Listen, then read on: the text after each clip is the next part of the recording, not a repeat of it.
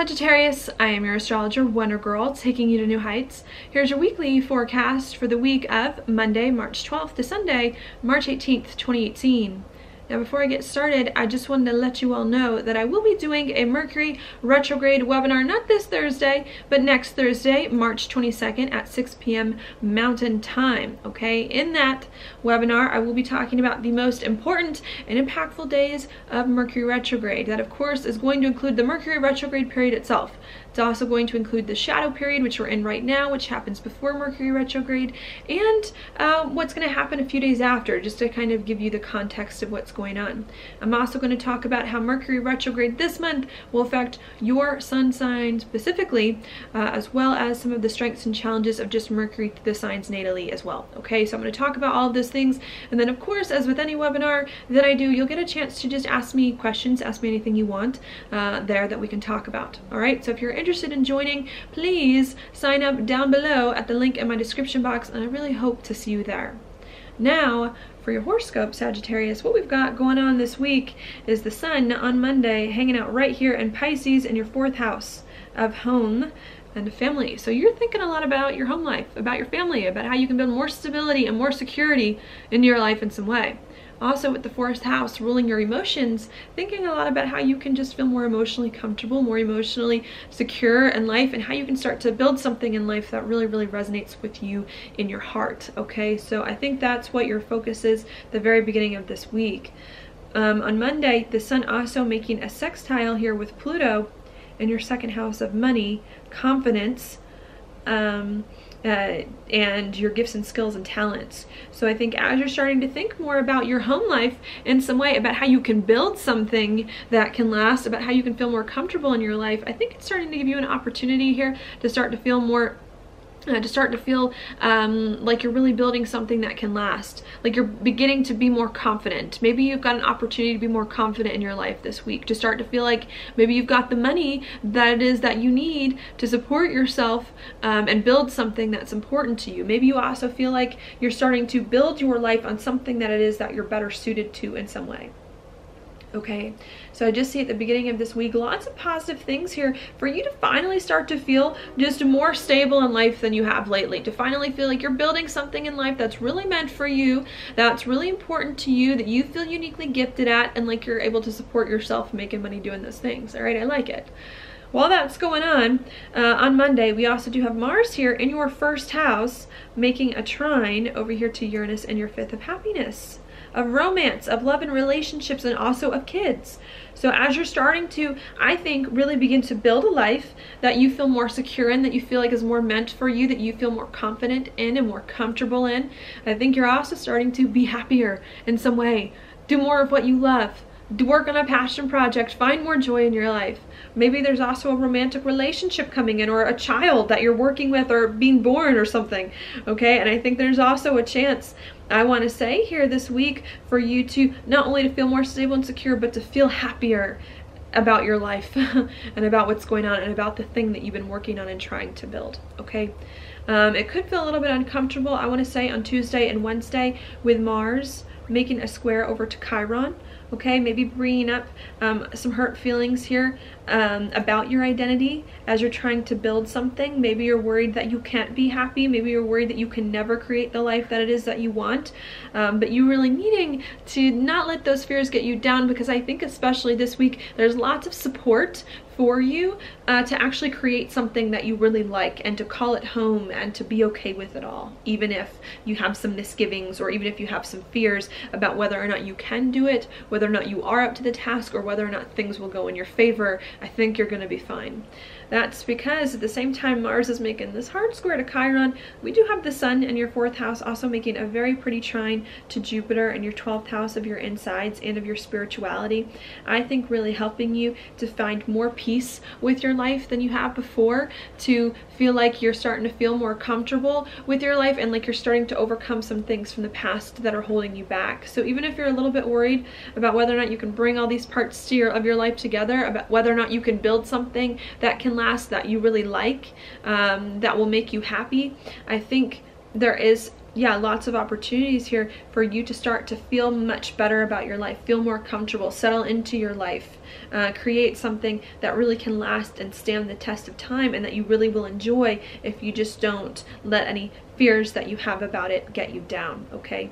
Um, so that's what I see happening there. The only challenge um, I might say that could come in at the, the middle of this week is going to be Venus right here in your fifth house, um, making a square over to Saturn in your second okay, on Wednesday. Um, or maybe as you're trying to be happier in life, do more of the things that you like, do more of the things that you enjoy. Maybe you're a little bit worried that the money won't come, the money won't follow, that it'll be hard for you to feel confident.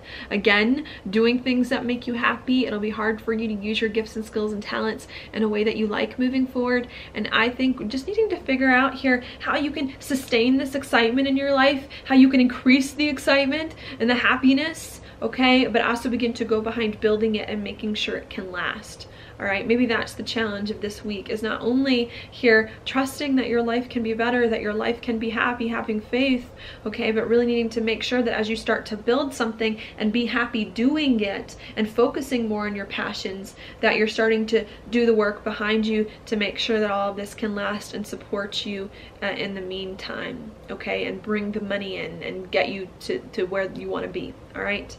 Um, so that could be the challenge uh, coming in the middle of the week. Then after that, on Saturday, the 17th, we do have a new moon in Pisces right here in your fourth house of home and family.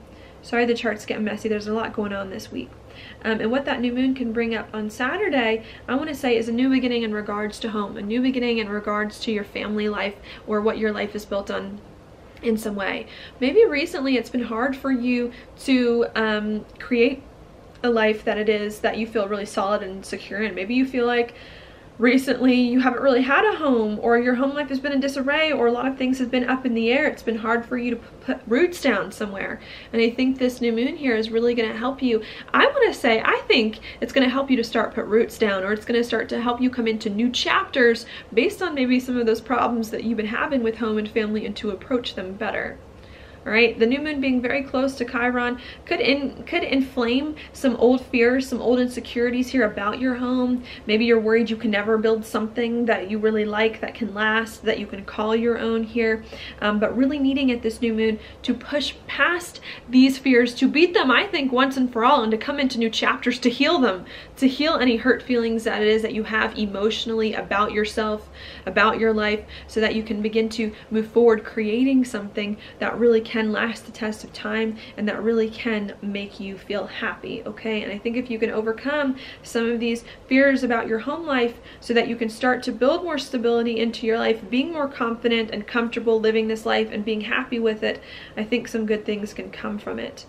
That's because um, on Sunday, we do have Mercury and Venus here in your fifth house making a trine over here to the North Node in your ninth house of something new, really helping you on Sunday to start to be happy, doing something you enjoy, to find more of the passion in your life, for you to be happy exploring, doing something new you've been working on, traveling, adventuring, coming in. And I think what you're really trying to do this week is before you can start to be happy, before you can start to adventure and travel, really needing to make sure that your foundation is secure, your foundation is solid, your private matters are taken care of, and that you're making maybe the money that you need and maybe that you're confident as well about your life so that you really can start to step into a new joy, being happier moving forward, all right? I think it's possible for you, Sagittarius, with Saturn leaving, Mars leaving your sign, coming in, with your fifth house coming more into focus. I think you've got a chance in the next few weeks to increase your happiness, to do more of what you like and more of what you love. It's just trying to make sure before you do that happy thing that your foundations are taken care of, that you're solid and stable and secure uh, before all the joy and the lightheartedness can start to sink in, okay? Uh, so that's what we've got there. And then the last thing I want to mention on Sunday, Mars as well, moving into Capricorn, a good thing.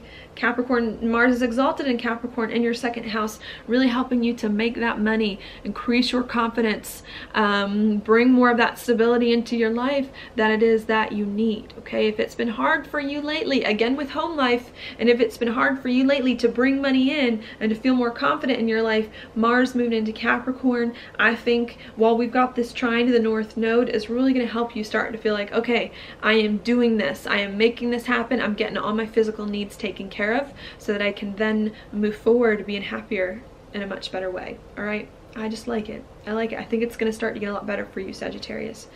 Now your card for the week. I love it. The Lovers, upright. This is a card I like to think of a few things. First of all, choices. Maybe you have to make some choices this week in some way. Important choices, with this being a major arcana card. Don't be afraid to make them. You need to make the choices. This card also says make the choices according to your highest values, what you value most. With your second and fourth house coming in, make choices that can bring you long-term stability, long-term success, and not short-term. Okay, that's an important thing with this card. This card to me also does indicate relationships, fated relationships, important relationships, people coming into your life this week that can really help you. And I think you need to accept them into your life, include them in so that they can help you do some things that are important to you and just be happier. All right? I like it. I see it being good, Sagittarius. Thank you so much for watching my horoscope. If you like it, please like it on YouTube, subscribe to my channel, share it with your friends, and I will talk to you later.